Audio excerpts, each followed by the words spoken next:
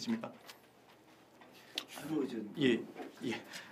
아이디 아이디어 이런 거 뭐 하실 때 예. 개그맨 뭐 생활이시나 지금 아. 뭐 어떤 그런 기 어떤 기 뭔가 공식을 만들거나 이런 걸 그 고민하실 거 아니에요? 아 지금은 그 임상 실험을 하죠. 왜냐면 제가 저도 똑같이 이제 수업을 하니까 저도 이제 그 뭐 스피치 수업을 해요. 대중 앞에서는 뭐 강사양성 과정, 유머 스피치 과정을 해요.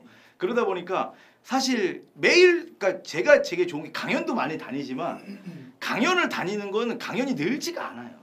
솔직한 얘기가 이거 이거 아마 뭐 아실 텐데 강연을 제일 잘하는 방법 단 한 가지예요. 강연을 수없이 반복을 해서 해야 돼요. 그거는 내 강의를 하는 거야, 내 강의를.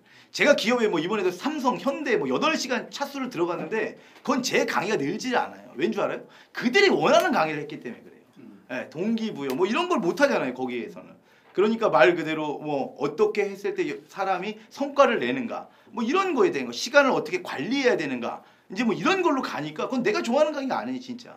제가 이 강의가 뭐 저 저한테는 뭐 이렇고 저렇고 이걸 떠나서 정말 좋은 게 심장 뛰면서 가는 강의잖아요.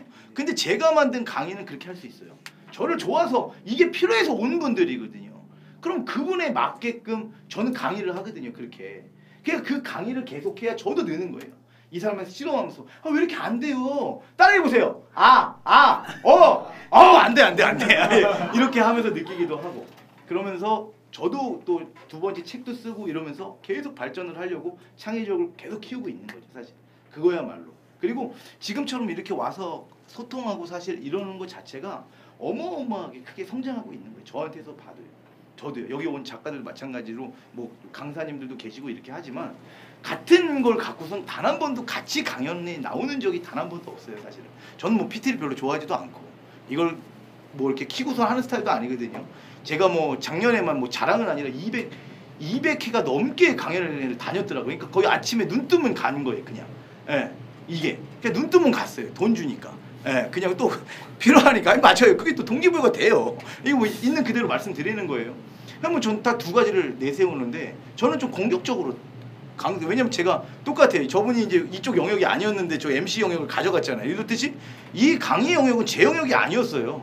근데 그걸 내면서 저는 뭐 강사 뭐, 뭐 없으니까 제가 임상 실험을 해보는 수밖에 없잖아요. 좀 기다리는 사람이 아니거든요.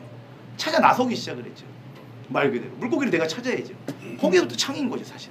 예. 그리고 하나하나씩 다 인사 담당자 뭐 삼성 갔을 때도 마찬가지예요. 삼성을 한번 제가 그, 그 출장소에 삼성 강의를 갔는데 어 거기 너무 강의를 잘 이렇게 잘 끝난 거예요. 그래서 너무 기분이 좋아가지고 노트북을 하나 사야 되는데 posting을 했어요 제가 강의 갔다 온 걸 삼성에서 돈을 많이 주잖아요.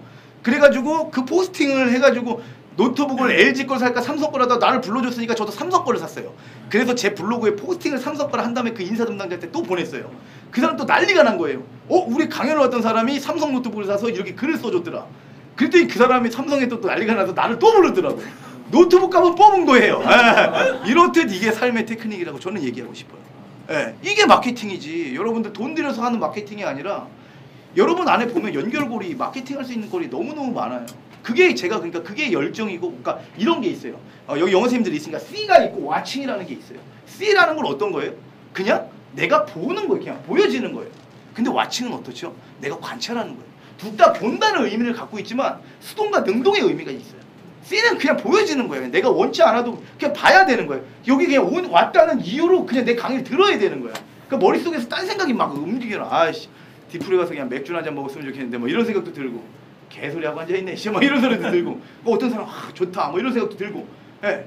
근데 여기 와서 보면 똑같은 거예요. 와칭이라는 건 뭐예요? 관찰하기 시작하는 거예요. 이 새끼가 얘기하는 게 뭐지?